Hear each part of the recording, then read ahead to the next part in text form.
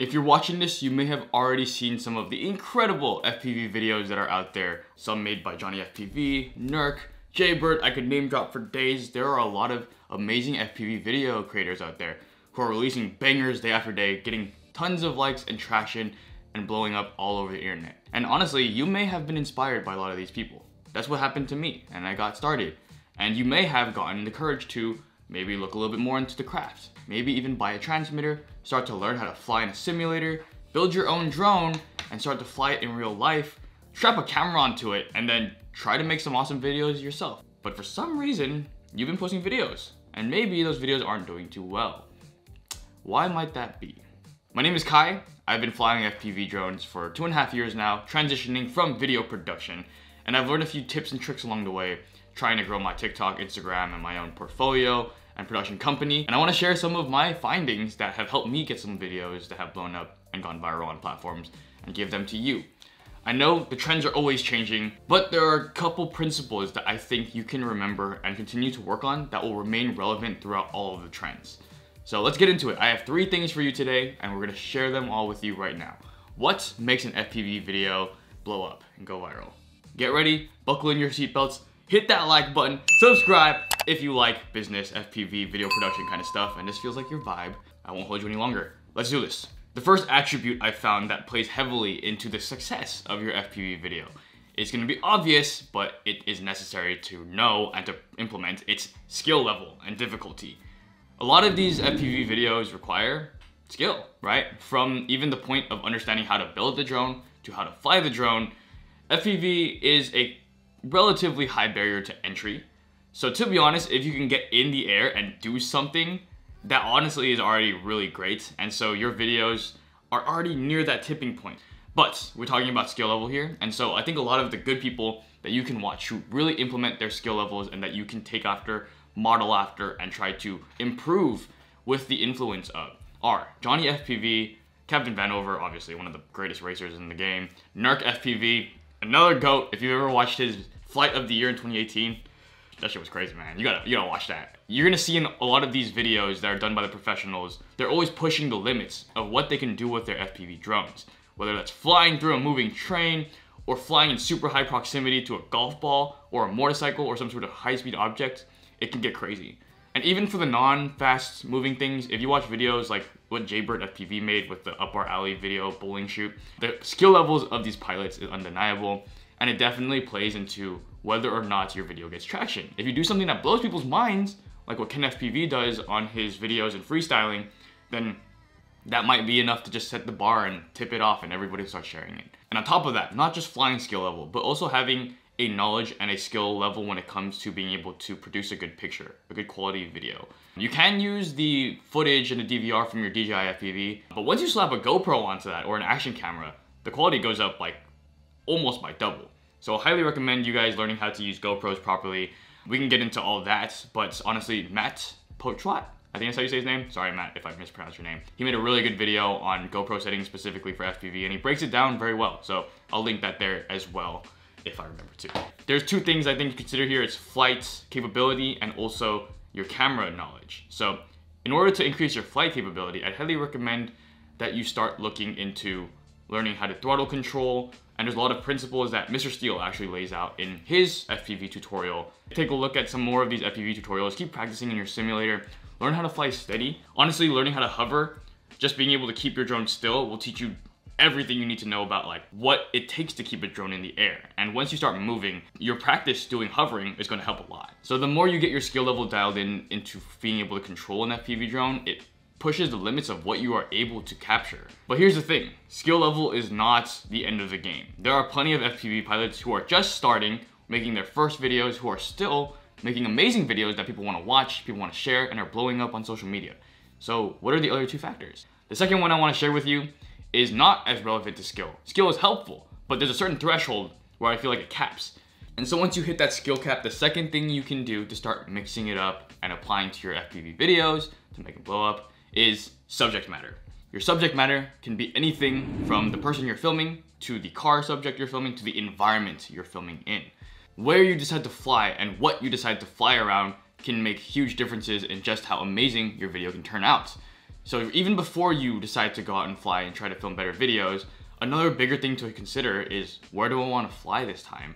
Where would be an awesome place to showcase with FPV that maybe hasn't been shown before, that isn't an airport, or will get you in trouble with FAA? That is a very valid question you continue to ask yourself as you continue to develop more content ideas and try to make a name for yourself as an FPV pilot.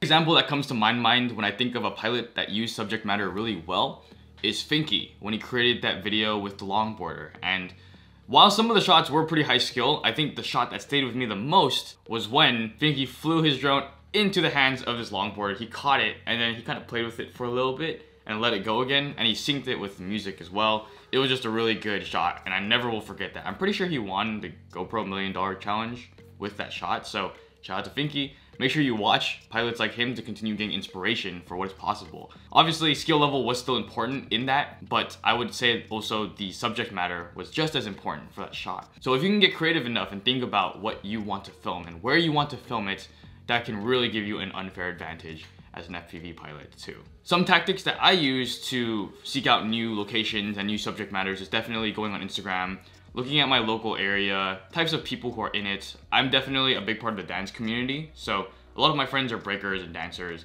and I know that I can get some awesome shots where I am able to use FPV to capture them in this new way that's never been done before.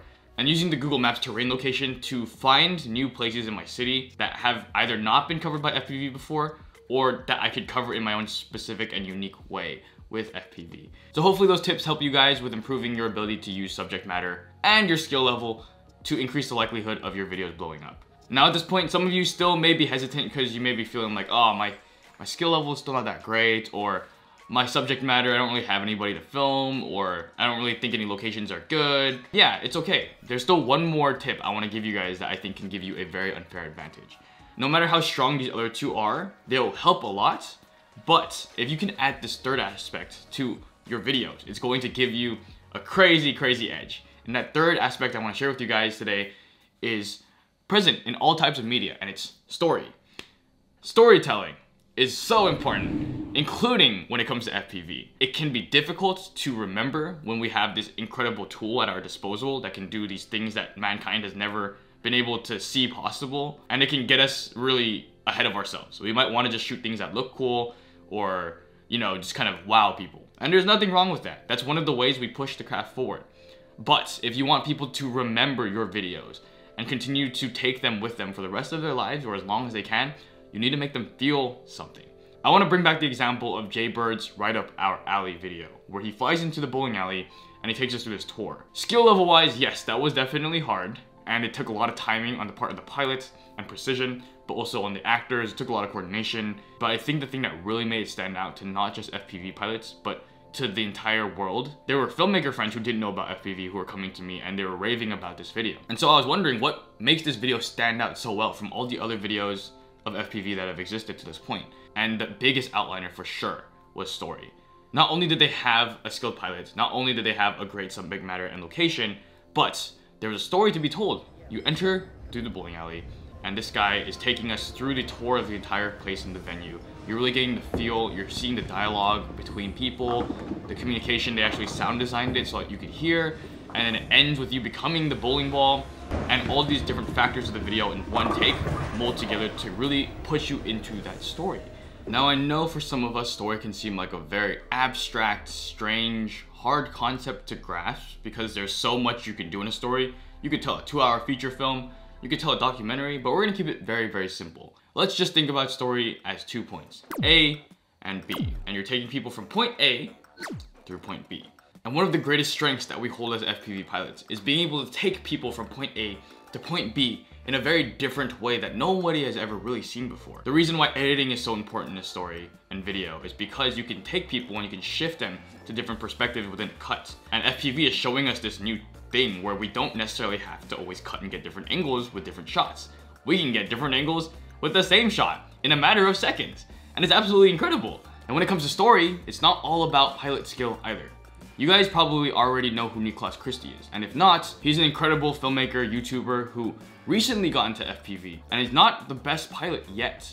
In fact, the first video he made featuring FPV, I think he crashed his drone, and he still made a great video about it. It's not about being an amazing pilot all the time. Sometimes it's just being able to transmit a good story and relate to another human being. If it's just all about the piloting, then sure, you'll probably impress other FPV pilots. But at the end of the day, if we want to spread FPV to the world, we have to really use story to tie us all together. For myself as well, I started making videos on FPV like a month after I started getting into it. Was I good? No, I sucked ass.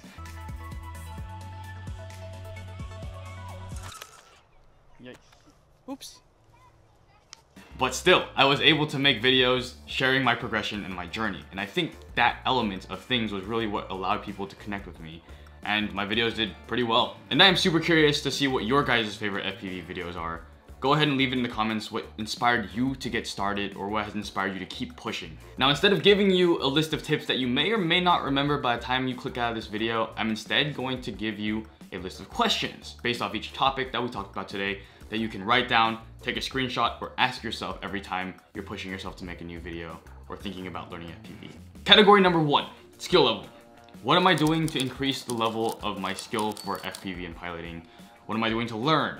Am I learning throttle control? What are things that other professional FPV pilots are doing that they have mastered to get so good? And by watching those videos, what are some things that I can take and learn to be able to do those myself and put my own spin on it? Category number two, subject matter and environment.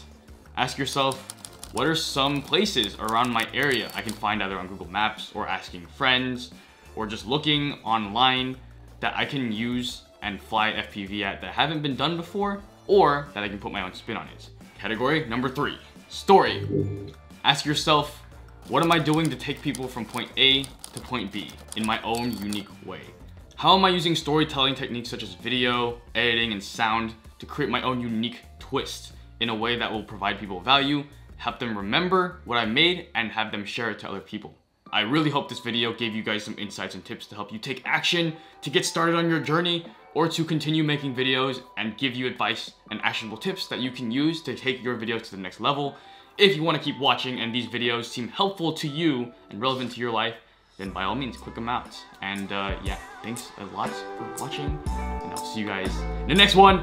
Peace, good luck.